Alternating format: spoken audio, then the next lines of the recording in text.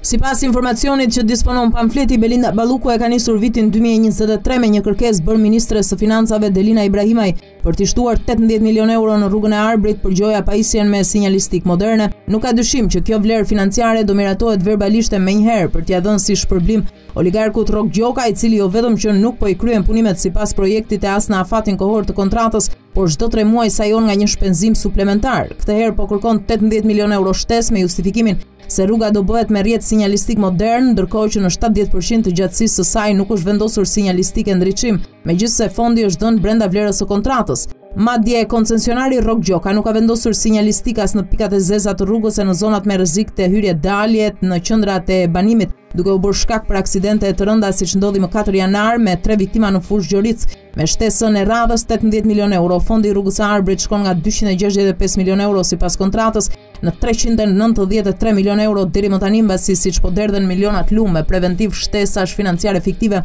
Kostoja e kësaj rruge që ndërtohet ditën e prishet natën ka dalë jashtë çdo parashikimi. Pesë muaj pas fillimit të punimeve, ndërtuesi Rrok Gjoka sajoi shembjen e hyrjes së tunelit të Murrizit që brenda njëzet e katër orësh, Edi Rama dhe Belinda Balluku i shtuan njëzet e pesë milionë dollarë me justifikimin se formacioni gjeologjik i tokës ishte i dobët, ndërsa pas tetë muajsh po për këtë tunel i shtuan pesëmbëdhjetë milionë euro të tjera me mashtrimin se formacioni ishte i fortë dhe nëse nuk bëhej investimi shtesë do vonohej hapja e tunelit. Më njëzet e gjashtë prill dy mijë e njëzet e dy iu shtuan një milion euro për gjoja rehabilitimin e tombinos te qafa e Buallit, ndërsa para tre muajsh i shtuan edhe njëzet milionë euro për fuqizimin e skarpateve në zonën Shkalla e Tujanit e Plan i Bardhë, të cilat iu dhanë Rrok Gjokës me katër tender të veçantë. Rruga e Arbrit duhej të kishte përfunduar para një viti, por Edi Rama e inauguroi më njëzet e nëntë nëntor dy mijë e njëzet e një pa u kryer as shtatëdhjetë për qind e punimeve, ndërsa Balluku njoftoi shtyrjen e afatit deri në shtator dy mijë e njëzet e tre.